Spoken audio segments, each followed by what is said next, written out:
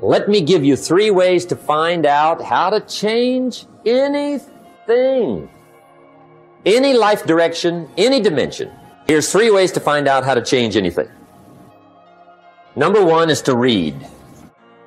Become a good reader. All of the successful people I know and work with around the world, they're all good readers. Curiosity drives them to read. They gotta know. They just read, read, read, read, read, read, read, read, read. Become a good reader. Now that's my opinion. Listen to the other lecturers and listen to me and make up your own mind. Don't be a follower. Be a student. Okay? I say, really, for life change, you gotta read. One way to learn is from your own experiences, but another way to learn is from other people's experiences. See, one book might save you five years if you read it. Did you know there's books on how to be stronger, more decisive? Be a speaker, be a leader, have a better effect on other people, develop your personality. Did you know there's books on that? And people don't read them? How would you explain that? And they can read. Did you know that hundreds of successful people have written their stories in books and they wrote down how they did it and people don't read it? How would you explain that?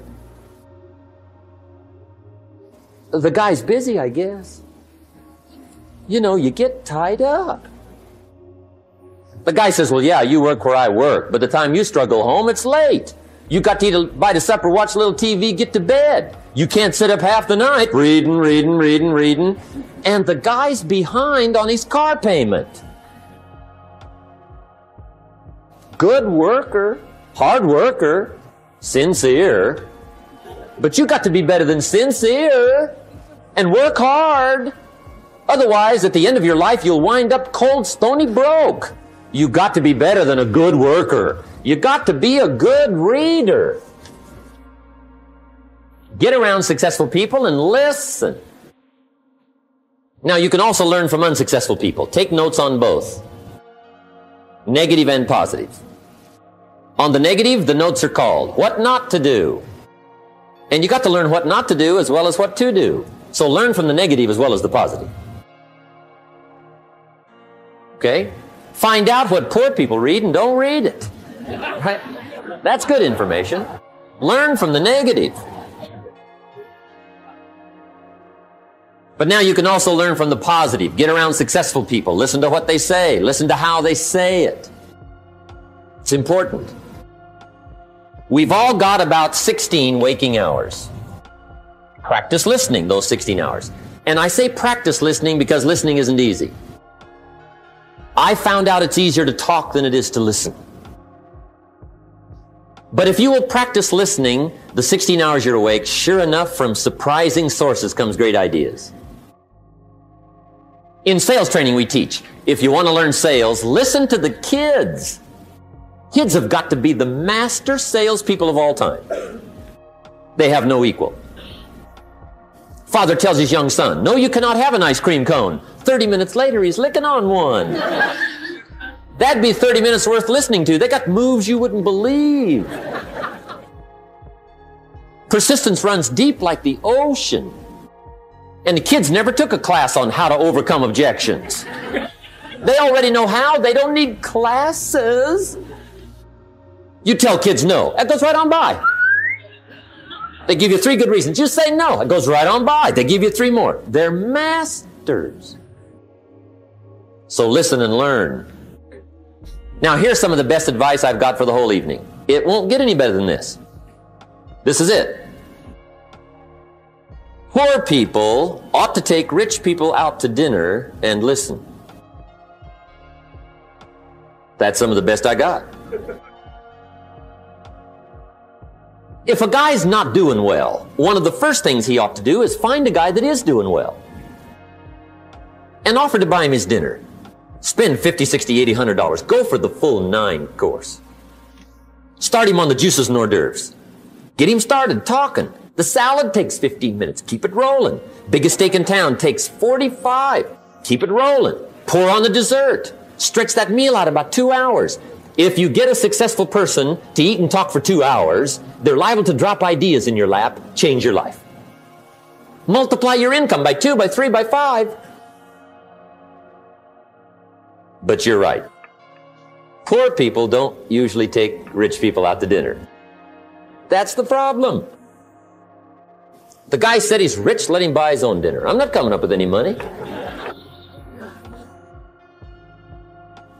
And he says, besides, you work where I work. By the time you struggle home, it's late.